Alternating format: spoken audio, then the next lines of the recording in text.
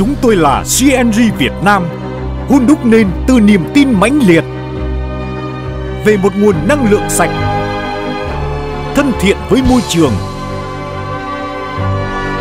tiết kiệm chi phí, vươn đến một tầm cao mới. Hành trình hơn 10 năm phát triển luôn tạo ra những giá trị thiết thực để kiến tạo nên một Việt Nam hiện đại. CNG Việt Nam đem nguồn năng lượng sạch đến mọi nơi.